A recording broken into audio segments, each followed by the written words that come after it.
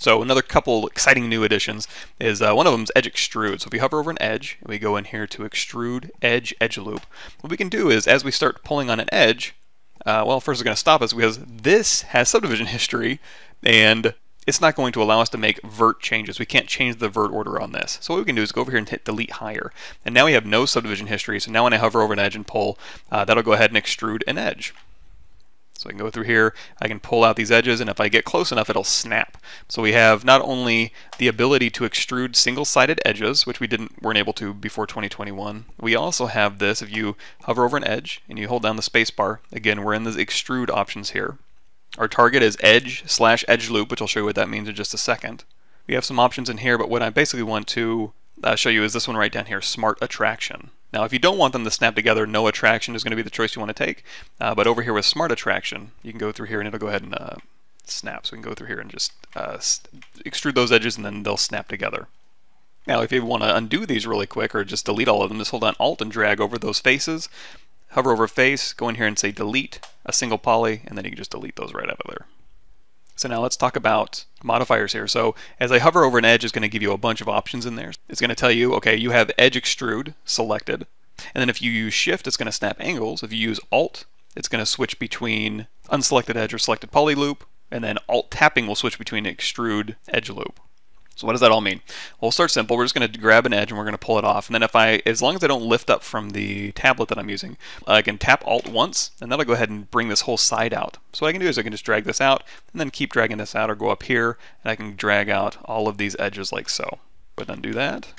Now if I drag this out and I tap Alt again, it's going to put me back into just single edge mode. So I can go through here, and again, I can switch between single, or I can go down here and tap Alt and go to multiple. If I go through here and I'm doing single just by tapping Alt and then I go over here to multiple and then I hold down Alt, you can see I go into polyloop mode. So instead of going in here and saying, okay, I want to extrude an edge loop or an edge poly loop or anything like this, you can usually just stay in here. It might switch it for you, uh, but the functionality basically stays the same. So again, Alt to single, Alt tap once to go to an entire edge, and then hold down Alt to go to basically an open mesh border. Now when you hover over an edge, you're going to see that the shift is going to snap your angle. So let's go ahead and move this around here. So as I uh, and tap Alt, so we're just doing one edge.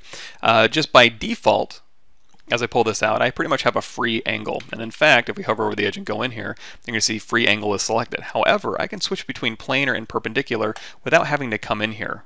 So if I do this, uh, pull out an edge, and I'm on a free angle, and I tap shift once, in the upper left-hand corner, you're going to say, it's going to say, hey, you switched to planar angle.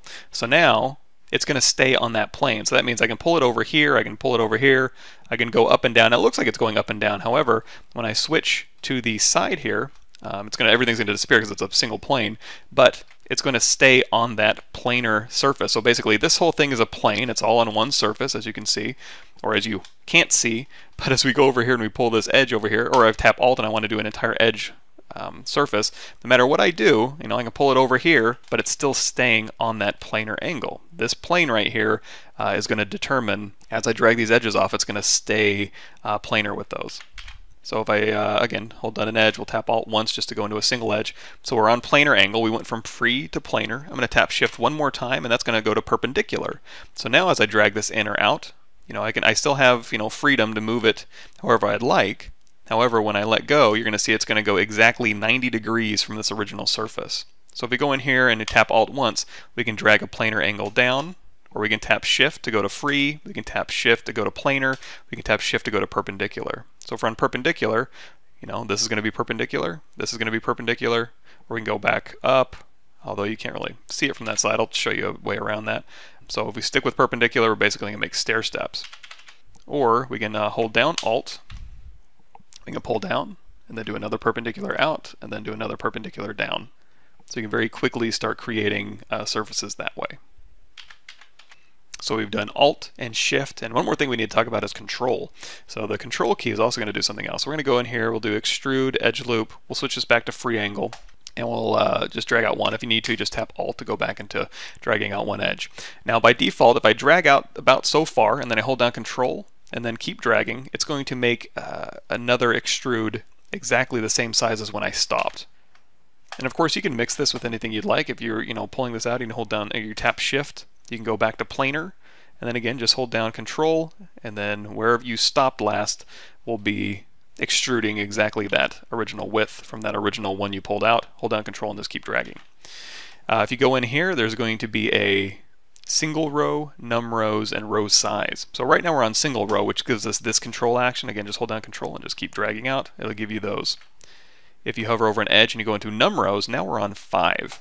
So what that means is I'm going to drag out an edge and it's going to give me five divisions every time. However, since we're in num rows now, if you hold down control and keep dragging, now you can make these more or less.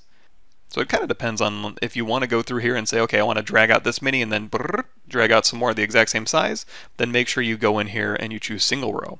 If you know that you want to have an entire distance that you want to cover, but you don't know exactly how many divisions you want, or if you do know exactly how many divisions you want, then don't use control, just use num rows and type in a number.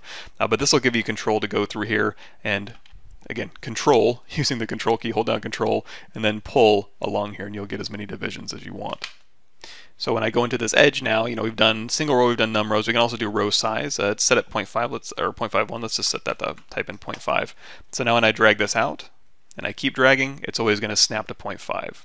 And you're going to notice when I was in here, and I'm like, oh, you know what, I don't like that size. I'm going to hold down control. This is actually going to determine that number now. So when I go through here and I'm like, you know what, I always want them to be this size. If you go back into your edge, it's going to set it to 0.34056, which is that edge. So now when you use this, they're all going to be 0.03456. So if you want to change that, just hold down control, set a new size, and now all of these, if you just go through here and tap, will be the exact same size. Let's go ahead and undo all that.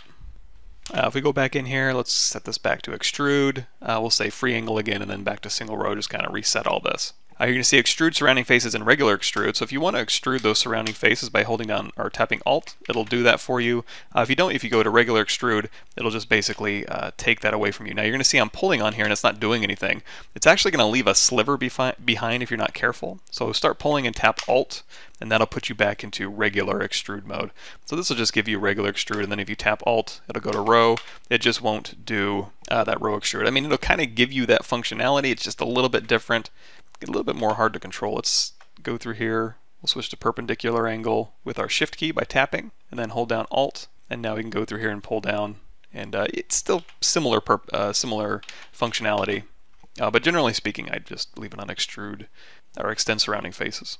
So we've already talked about the angles, we've talked about the side, well we haven't really talked about the sides. So uh, free sides is what we've been using so if we go through here and we tap alt once so now what we're doing is we're extruding this edge and again, we can tap shift to go keep it on this plane. However, we're still able to move it side to side. If you want to avoid doing that, you can go down here and you can set it to extend sides or parallel sides. Now these do similar things depending on what your parent geometry is. So if this parent geometry, uh, these edges set up very straight, they're already parallel. So when I go through here and I pull this out, you're going to see that extend sides on a planar angle is just going to kind of pull out from that plane.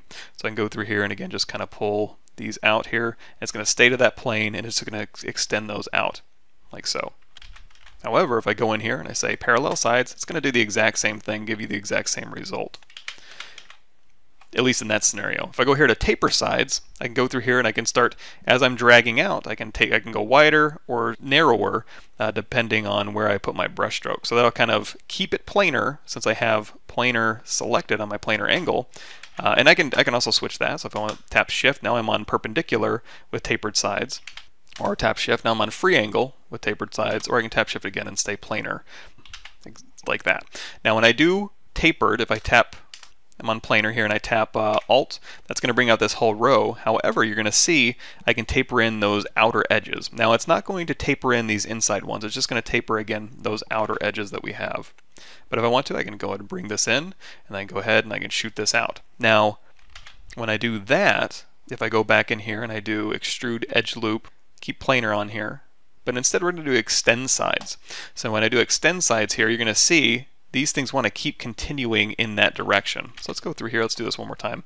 Uh, edge loop, planar, taper sides. So I'm going to take these, I'm going to taper in those corners just slightly. So when I go back in here and do an extend sides, it's going to keep extending in that direction until finally um, those points merge because we have our smart attraction turned on. So extend is just going to continue those angles that you have. Uh, same thing for one. If we go through here and we say, let's go ahead and taper just one. We're going to taper this down a little bit, and then we'll switch this over to extend on plane, and then we can just extend those back down. Where parallel is going to come into play is if we go back to taper sides and we do an entire side here just by tapping alt. So again, we're going to slightly taper those sides and then I come back in here and say, okay, now give me parallel sides and I pull this out. Those are going to say, okay, these are the edges I want and I'm going to take a parallel line straight out of here. So I can go parallel through here. I can hold down control and drag out more.